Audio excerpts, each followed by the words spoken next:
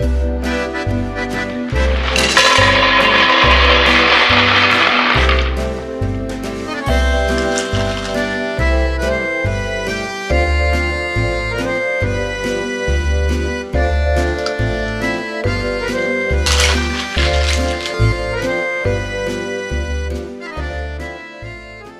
folks, welcome to Board Game Breakfast. My name is Tom Vasel, and this is the first Board Game Breakfast being recorded at the new Dice Tower Studios. Now, never everything is not set in stone yet. We're still going to be changing things and working around, but we're moved in finally, and we still have a studio set to be built and things like that. But if you go back this week, we've done a few videos of it. I didn't do a lot of live stuff because, well, we were working a lot, but we are um, getting stuff done. Now, this week, actually, by the time you watch this, I will be flying out to Nebraska where my parents live. My mom has been given just a few weeks to live or so, so I'm going out to see her as soon as I can. Um, and I, ahead of time, appreciate the nice thoughts and, and things that I, people have sent me in the past and all. And, you know, it is what it is, but I, I was able to record a lot of videos this week, so you'll see those going up um, regardless of me being gone. And when I get back, I might do a Q&A near the end of the week. So Again, we appreciate you watching Board Game Breakfast. We're just going to get right into it. Let's start with the news. Not nearly as much news as last week, but here we go. Renegade. One of the games that I didn't mention last week is Scott Pilgrim's Precious card game. This is a deck building game based on the very popular comic of Scott Pilgrim and you're going to be building a storyline and coming in and the cards are double-sided and so you will be dealing with different situations either in an adult manner or through cartoon video game violence. How do you do that? I'm not sure how it works, but I'm sure this game will be very popular. Van Ryder Games has announced uh, a new game, Detective City of Angels, which looks cool. I hope this is as good as it looks. It's about big city noir, detective type things. Uh, the is by Vincent Dutrait. So man, that's just this is neat. A big box detective game. I hope it's good. And they've also announced an expansion for Saloon Tycoon, the Ranch expansion. Has uh, Haba uh, has told us some more details about Rhino Hero Super Battle. Rhino Hero is a game that I have in my collection. I love it. You're building cards, moving a rhino. Well, this one, there's multiple towers. There's multiple people moving around. You're fighting off evil monkeys. The towers will be joined by bridges. Is this too complex for what it is? We'll find out, but it looks super fascinating. Hasbro has announced the new Monopoly tokens for the four of you who care. Um, the Raptor, the Ducky, and the Penguin have made it.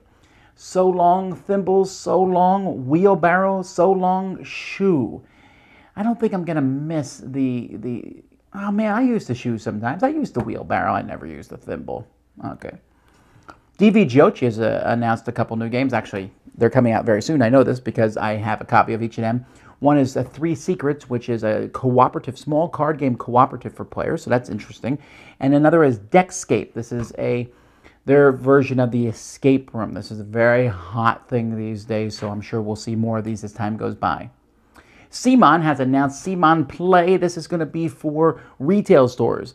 Uh, has certainly got their fair share of criticism over the time because they do these huge Kickstarters and big things which cater to not really retail stores. So they're going to be offering kits for stores to run different events of different games, and these kits will have content that you have not yet seen for these games. So they're going to be supporting the local stores as much as they can with this new CMON Play. Ares has written a lot of details about their new Hunt for the Ring. This is in their series of War of the Ring. This is basically about one player being the Nazgul chasing the other, the Frodo and and the gang with the ring. And there's two maps. The game is broken up into two chapters, and so uh, as you go by, you're gonna hunt for the first half of the game, then the second half of the game. And when you find Frodo, he doesn't necessarily lose He's just going to get some corruption points. So it sounds like they did some things similar to the the hunt part from War of the Ring. I'm really pumped about this. It's a great theme, and I hope it works. I love the, finding hidden movement deduction games.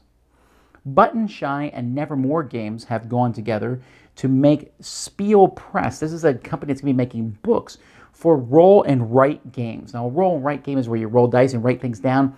You may have seen games like Qwixx or Rolling America, Rolling Japan uh, where you write, you roll some dice, and then you fill the things in, and then you run out. But these books supposedly have different games in them, maybe on the different pages. I'm very curious to see where this goes. I am a fan of the roll and write genre. IDW is reprinting Torres. I had a chance to see it at the GAMA Trade Show, and it was really nice looking. Uh, and this is a classic game, the most complicated game probably to win the Spiel des Jahres over the years. And that's it for the news. Suzanne, what's happening in crowdfunding?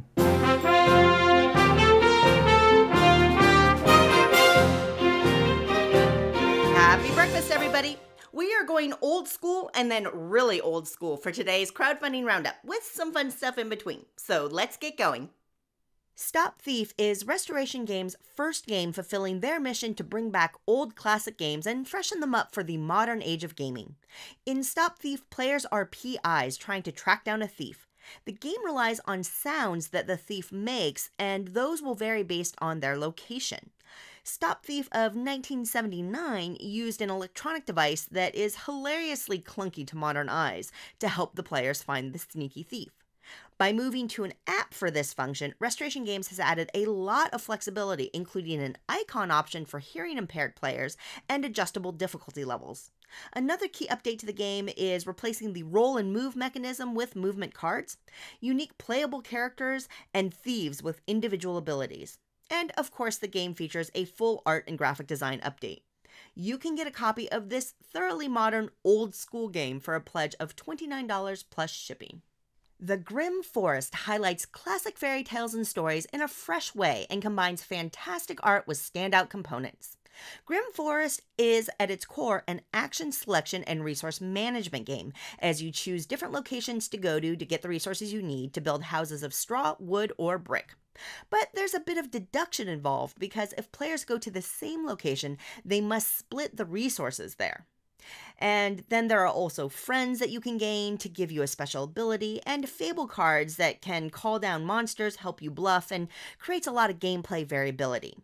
Going back to the art and components, the stellar illustrations by art duo Mr. Cuddington just shine. Uh, the big and beautiful player minis and the 3D house pieces that let you physically build up your houses, well, those just take the game to the next level. You can get a copy of The Grim Forest for a pledge of $49. Cytosis is a worker placement game set within a cell, like biology cell, not jail cell. You'll be placing workers to collect resources or take actions based on the location. Beyond the uncommon theme, a standout feature of Cytosis is the selective endgame goals that players must claim. The trick here is if a player takes their goal too soon, they're signaling to all their opponents what their plan is. But if a player waits too long, then they risk losing the endgame goal that they really want. The included virus expansion adds a push your luck element to the game as you try to build up antibodies to fight off invading viruses. The campaign also offers a premium collector's edition, which includes an embossed lid to the box and a custom screen printed molecule meeple set.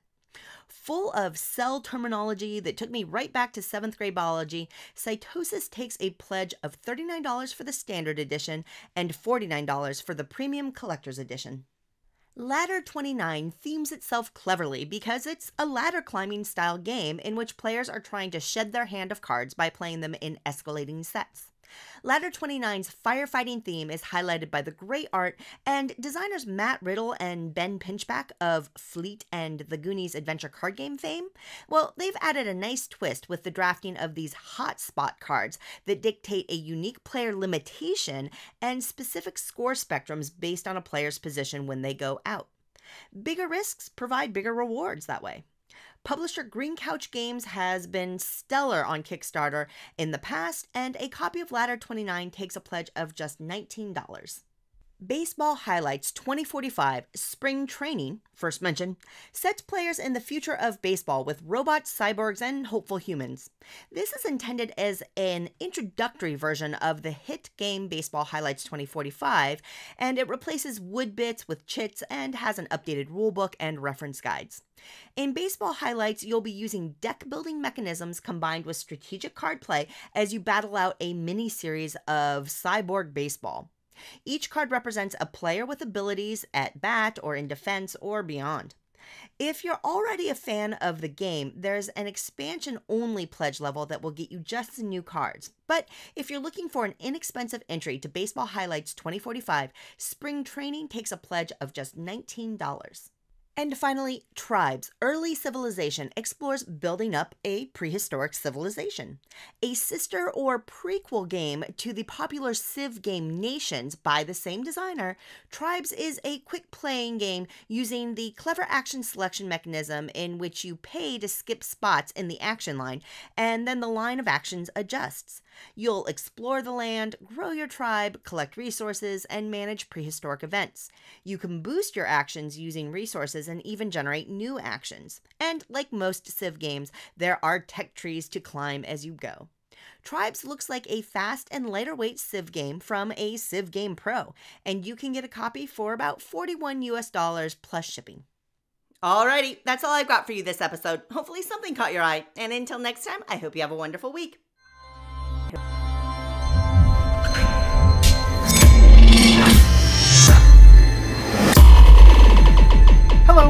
Chaz Marler from Pair of Dice Paradise here, and my childhood is worth a fortune! At least, I assume it is, because several board game publishers are developing games specifically designed to cash in on the nostalgia that I and others feel for the coin op video games of our youth. For example, we have Turn 1 Gaming Supplies, who will soon be releasing Space Invaders Dice, based on the 1978 arcade classic Space Invaders. In the dice game, players will still zap away at columns of advancing alien armies in order to defeat the UFOs behind them, and they'll do it by using a number of colored dice with different symbols. But that's not all. There's also IDW, who have announced not one, not two, not 824, but three games based on coin op classics of our youth Asteroids, Missile Command, and Centipede. And as of the time of this recording, these games are still in their early development, so little is known about the rules or mechanisms that they're going to utilize. But what I do know right now, at this moment, is that the board game industry has begun banking big time on arcade nostalgia. And that leaves me.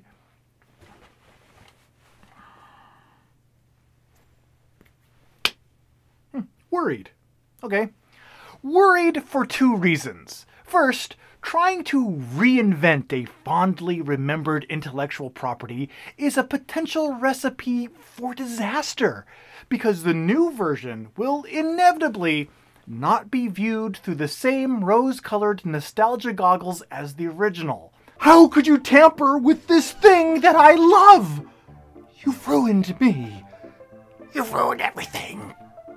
So, does that mean you try to design your new version to be as similar to the classic one as possible? Well, that introduces the other potential problem. See, at their time, Space Invaders, Asteroids, Missile Command, and Centipede were fresh and innovative, but everyone has long since moved on.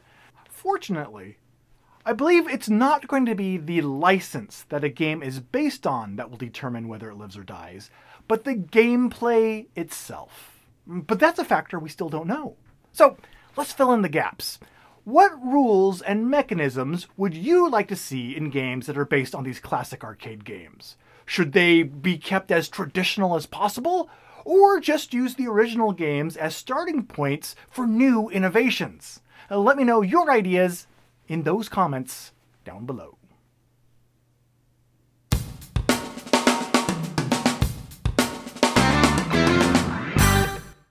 Okay, so what's coming from the Dice Tower this week? Even though I'll be out of town, we have a lot of reviews coming your way. I have The Banishing I'll be talking about. Um, Z, Sam, Eric, and myself are going to be giving you a preview of first uh, our first impressions of First Martians um, from Ignacy Trzewiczek and Portal Games. So I'm excited about that. I'm taking a look at the newest Dice Masters Batman set, which has flipping cards. There's just a lot of different games that we will be doing. We're also doing a top 10 list this week. The top thing, things that publishers need to stop doing. Stop it. And of course, you'll see content. There's a board game, uh, the Throw Punch Lunch, coming out this week. You'll see more content from many of our contributors. Uh, we'll be doing some new, some HeroClix coverage. We'll be starting this week on our channel. So there's just much coming, as well as the live streaming that we did at the GAMA. We've broken it up by company, and so we'll be publishing those separately, and those will be starting to come out on our channel this week. And we might do some live Q and A's. We'll see. We're like I said, we're still setting up the studio and things, so we'll see where that goes. Now, on the Dice Tower Audio, this week is episode 499, which means episode 500 is only a week away, and that's a really fun episode where the original co-host of the show, Joe Steadman, and then the second host of the show, Sam Healey, and then Eric Summer and I, we got together, and a pile of other people. Um, so that's, that's a fun episode, but that's a week away. And of course, there's many other great shows on the Dice Tower Network, and you can find all that at dicetowernetwork.com. this is Mike with the Board Game Makeover. A few weeks ago, we talked about giving away Planet Steam First Edition poker chips to a lucky winner viewer, if as long as you told me that you were interested in this and you had the game. So I went through and compiled a list of all the people, and I'm going to choose you using a roulette wheel. So I'm going to spin the wheel.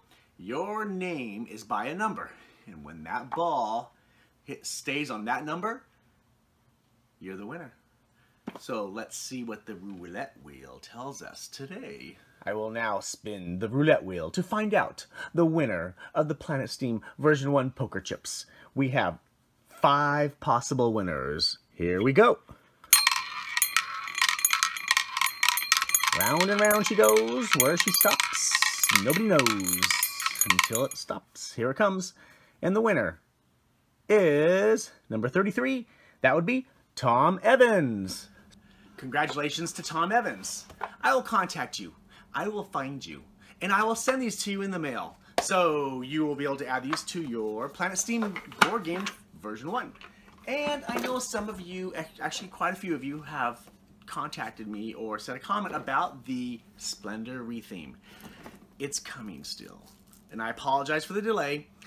I'm going to have this done before Origins. That is my promise to you so that I can select a winner, get everything done, and have this sent to you. Thanks for watching the Board Game Makeover. We'll see you next time.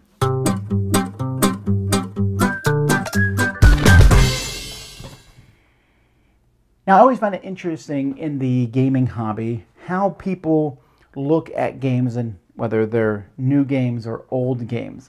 And at conventions, I'll usually ask people, you know, how long have you been in the hobby? Six months, a year, two years, three years, five years, 20 years. And there's always someone who's been there since Methuselah started playing, you know, the first game. Um, but a lot of people get into the hobby at a very new age. So there's always this cyclical thing that we see with games. Like Torres is about to come out. I mentioned this in the news. For a lot of people, Torres is a brand new game. You say it's not brand new, it's been out a long time ago. But most people haven't played it. And that's something I find fascinating because it seems like there is a shelf life for games. And then when that game reaches the end of that, it disappears and it can come back later on and be felt as if it is something new. Now, very rarely do these reprints, these come back from the dead type things, really take off. In fact, I can't think of many that have like exploded. I think Survive, when Stronghold brought that back, that was a big deal they will always seem like a bigger deal than they are because the people who like the original will tell you that it is possibly the greatest game of all time. And they like that game, but they usually don't do that well. For example, Merchants of Venus, which is Eric Summer, my co host on the show, it's his favorite game. He loves that game, and Fantasy Flight reprinted it, but it's already basically no longer being printed. Because, yes, there were some people who really wanted a reprint of the game, and they got it when it came out, but it just it didn't catch people's attention. And because games are constantly getting better, these older games sometimes have a hard time standing up to newer games. There are a few games over the years that have stood the test of time. My favorite is one of them, Cosmic Encounter. I can think of El Grande, chess, you know. There, there are games that will be around for many, many years, but most games have a very short term shelf life. But I do find it interesting that the game can then come back and people look at it and go, wow, this is a fresh thing. Well, it's not really that fresh. And so there's this constant rushing around right now from a lot of publishers who are rushing around trying to find these older games that they might bring back. And I wouldn't be surprised if you hear more announcements made for these over the next couple years.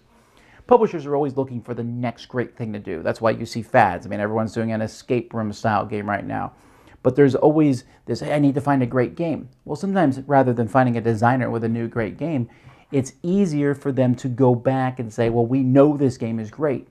But those games, do they need to be refurbished? Sometimes yes. Do they need to be tweaked? Sometimes yes. Do the components need to be upgraded? Almost always yes.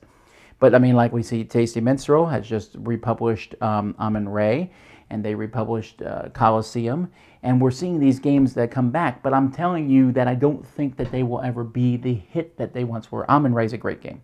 It's fantastic.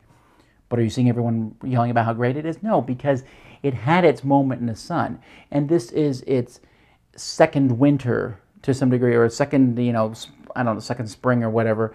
You know, it, it's it's going to make some sales, but then it's going to kind of fade in obscurity. Will you see it come up a third time? I don't know. What I'd like to know, what I'd like to hear from you guys are what games do you think have made a resurgence and come back and been extremely popular? Because there's one game that I know that in its second iteration was more popular than the first. Very rarely does that happen. And I, I'm really can only think of one, and that game would be Android Netrunner. Uh, Netrunner did well when it first came out, but it was way overshadowed by its bigger brother, Magic the Gathering. And Magic the Gathering did extremely well. Netrunner did well, and for years, as a reviewer, people would say, Tom, you've got to play Netrunner. And I would look at the artwork and go, I don't think I have to play it. When Fantasy Flight redid it, I expected it to do well, but no one expected it to become this huge mega hit. It was the biggest hit that year that came out, and it's still doing quite well today. It's had a nice new rebirth. Other CCGs that have come back, like Doomtown, they just haven't had that same kind of buzz, or Versus when that came from Upper Deck. So, other than Android Netrunner, what games do you guys think have had a huge resurgence? Have we seen more come out for them as time has gone by? Well, let me know in the comments. I just think it's interesting to see how people who are new to gaming, everything is new to them. So these older games feel new to them. And for us who have been around for a while, we're like, oh, it's kind of an old game, but it can still even feel new to us.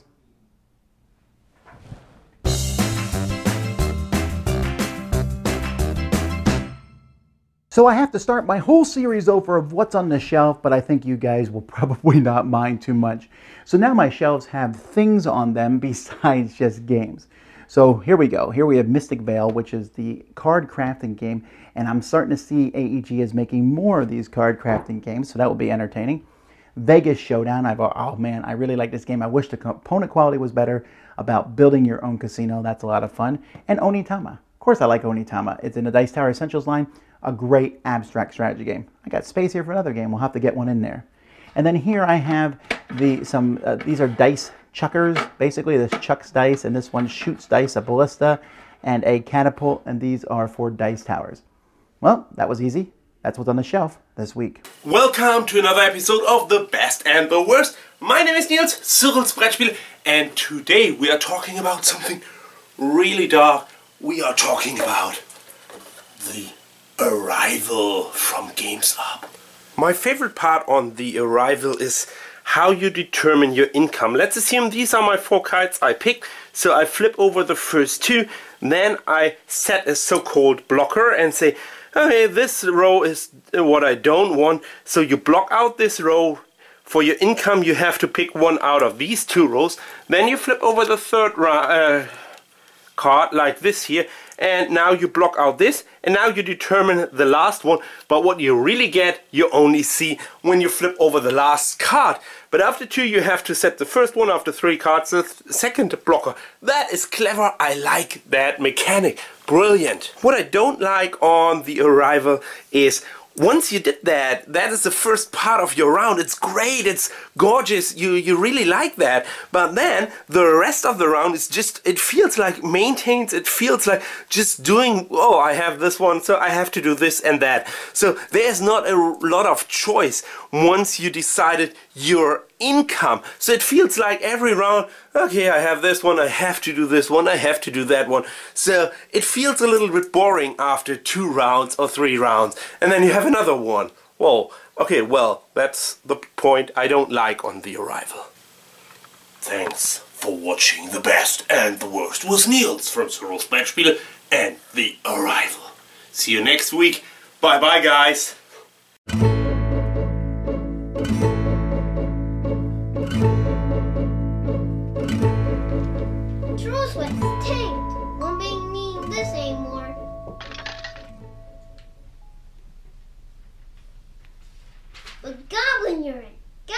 Goblin going through the roof. Quick, more, more Gatorade for the goblins. Quick, to the dungeon. Hi, I'm Iain, and welcome to Component Moment. And today we're going to take a look at Prospectus by Mr. B Games. Now let's open the box. The game comes with dividers for each and every character, tons and tons of magical coins, black cubes, interrupt tokens, ingredient abilities, spell cards for the characters, 4D future cards, cubes, and a dispenser. And look, some of the cubes get trapped inside, which means you have to figure out which ones are going to come out and affect the prices of the market. Finally, a stock market game that kids can have fun and beat their parents at. So I'm Iain from Open the Box Games, and you gotta check out Prospectus by Mr. B Games. See you next time. Bye.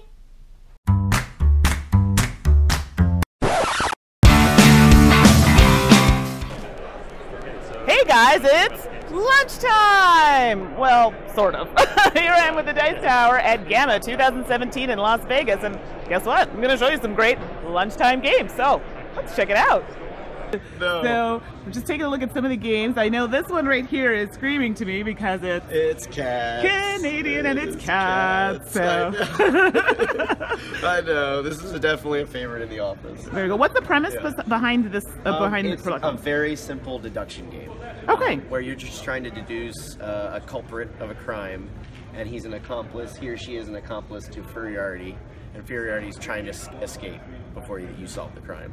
Oh my god. So it's it's very simple. You can play it at a bar. It's wide audience, and it's just super fun. So this could be a lunchtime game. Oh, easily. And the date on and pronunciation, because I know I'm going to say this completely wrong. Yes. Saikatsu.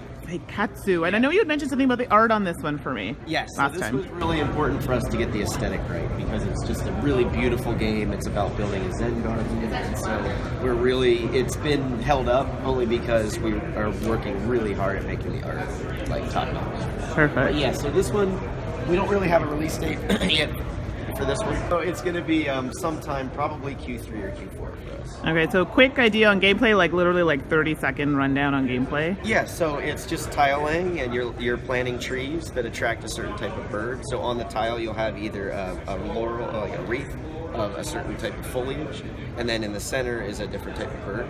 And you're just laying tiles and trying to match in a row as many of the same as you can to score points. But the unique part is is that um, you're a noble on sitting atop a pagoda. Um, overlooking the garden, and your perspective matters for scoring. Okay. So everyone scores from a different perspective of the board.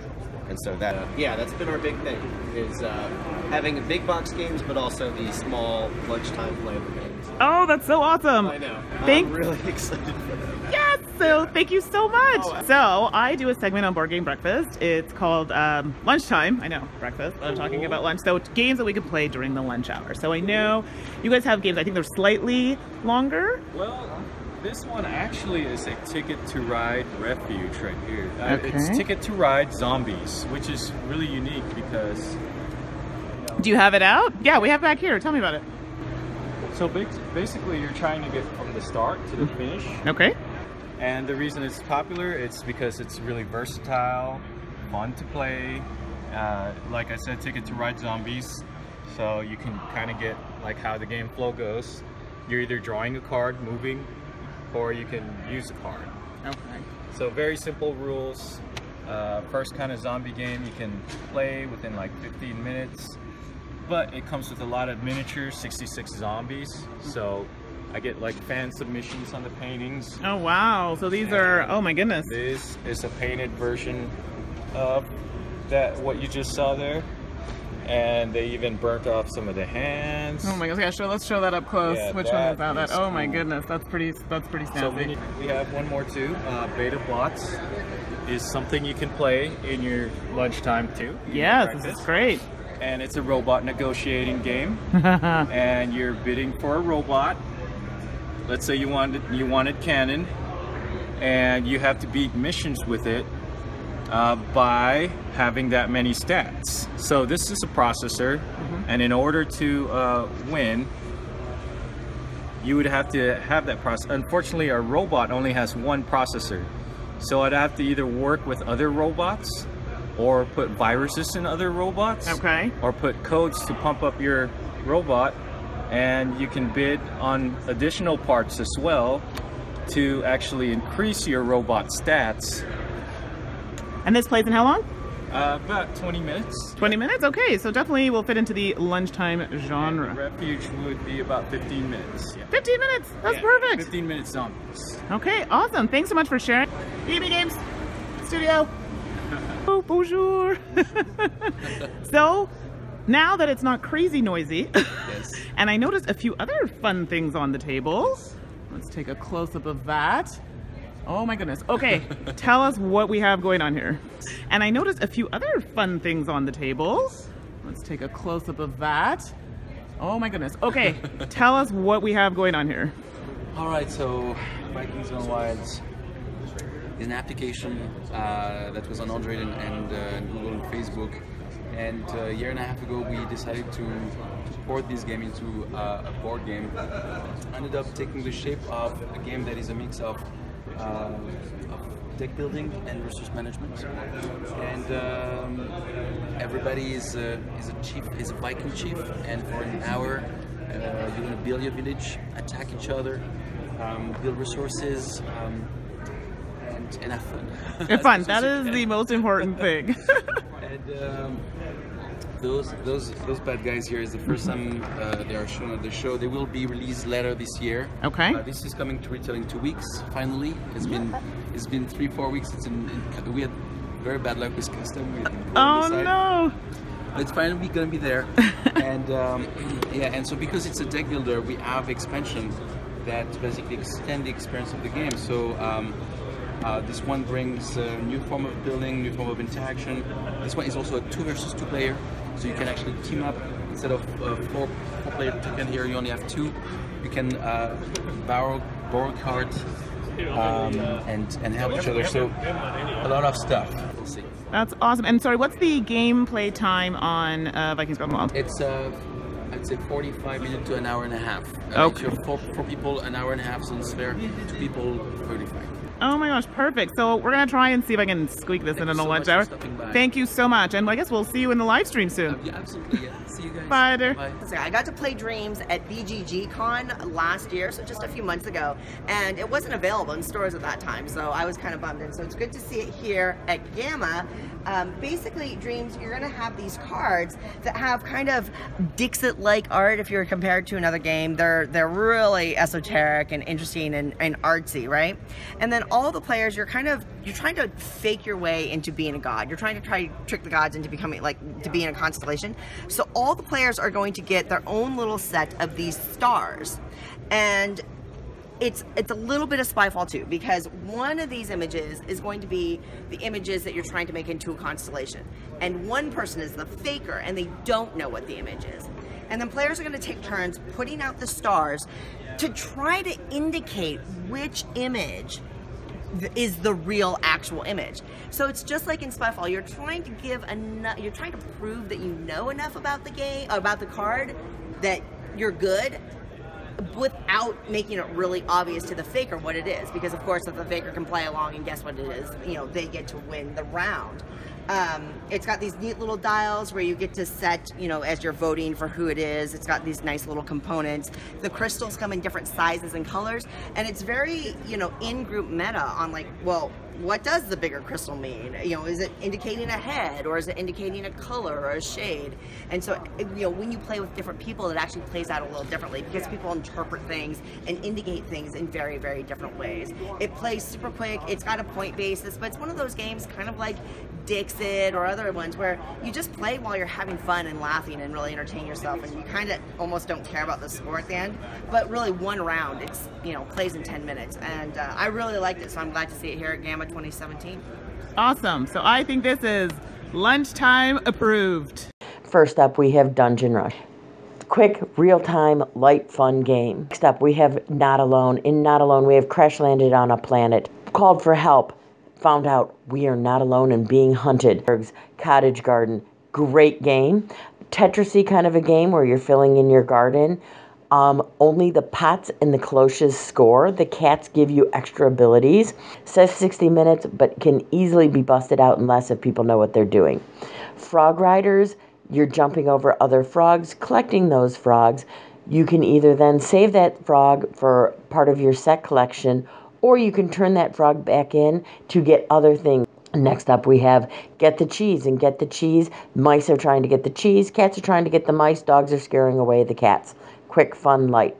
Pit crew, you are racing, but you are the pit crew. You are not the driver. You need to be the fastest to get your car up and ready. The right number of cards out each tire and gas up the car, fix the engine, and get it back out on the racetrack before anybody else. Super Mario Level Up board game. Join Mario and his pals as you advance them up the Mushroom Kingdom while challenging the Mushroom Kingdom bluffing elements. Players gather the most coins and reach the castle at the top. Custom game pieces include a 3D game board, 13 character movers, power up cards, and black chips. It's for ages 8 and up, 3 to 6 players, and the MSRP will be $19.95. Hey guys, it's the Board Gaming Pinup Girl signing off. I hope you got some good ideas for lunchtime games. Look forward to more of them on our future board game breakfast episodes. Till next time, bye.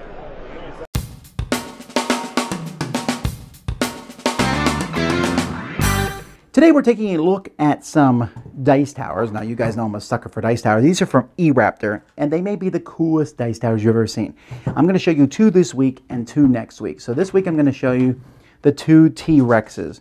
And so these are made of plastic. These are, I love how this plastic works. You basically snap them together. You can take them apart. Um, it's not too hard to take them apart, but they fit together and are very sturdy. They're made of two dinosaurs on both sides. Um, and then you just drop the dice in like this and you see they roll out the bottom. Very easy to see. This one's similar. And the dinosaur eats the dice and then shoots them out the bottom. Now, this one is really cool looking, but this one is phenomenal. This is one of my favorite of the four. The two next week are really cool, but this one here, you're dropping them into the, the dinosaur's mouth. And then they just go down, boom, boom, boom, and drop out here at the bottom. Really good. This is a great set piece. I mean, it's a little bigger. It takes up more room than many dice towers do, but it's highly recommended. Good morning, or afternoon, or evening, or whatever time it is. Maybe you're in the future watching this in a documentary called Matthew Jude Just What the Heck Went Wrong.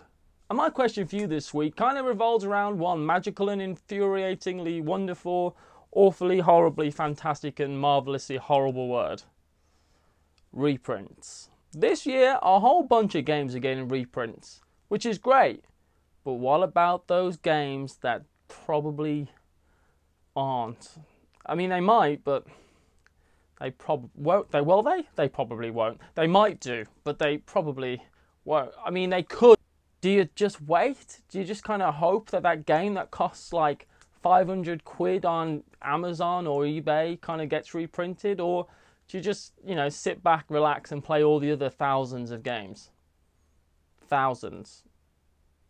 But that one. I really wanted Viticulture Essential Edition. It was one of those games that I would kind of browse eBay in the small hours of the night when I probably should have been reading or sleeping or hunting vampires. And it was there, I just never pulled the trigger. Not only because that is not how you kill vampires, but because I was kind of alright with just waiting. And then one day, I got an email alert, and boom, Viticulture Essential Edition, back in stock. Click. Get in. But I also really wanted Pillars of the Earth, so I bought a German copy of it off a nice northern man. And even though the cards are brilliantly mocked up and fantastic, uh, like really, really good job done on them and all that, I found out it's getting reprinted this year. And I kind of probably should have waited. Dang it. It's a risky business, and I absolutely don't have an answer for you. So I'd love to know whether you should wait or whether you should go for it. And if you've had any really good luck or any horrible, horrible misfortune on the hunt for games. Or vampires, and that's probably interesting too. Goodbye. Well, that's it for another board game breakfast. I appreciate all your thoughts and and prayers as I travel this week. Uh, meanwhile, have a great time. Lots of great video content. Episode 499. We're going to continue to try to make this studio as nice as we possibly can and try to really, really make our content better. This is because of you guys. You guys are the ones who backed our Indiegogo campaign. It's because of you that we're able to put this together. This is not a clubhouse where we're like, woo, look at all the games we're playing. Yeah. No, we're here to work. We're here to make fun content for you guys, hopefully. Hey, convention season has started. There are more conventions on the way. Do you know that there's only there's less than 100 tickets left in Dice Tower Con? Why have, go and get a ticket now, or, or you won't be able to come to the best convention of the year. Anyway, folks, until next time, I'm Tom Vasel, and you've been watching Board Game Breakfast on the Dice Tower. Thanks for watching Board Game Breakfast. Tune in each week for your daily dose of gaming goodness with Tom Vasel and all the gang. Until next time, I'm Eric Summerer, and you've been watching Board Game Breakfast, a Dice Tower production, sponsored by Cool Stuff Inc., an amazing place to buy board games. Cool stuff in stock at coolstuffinc.com.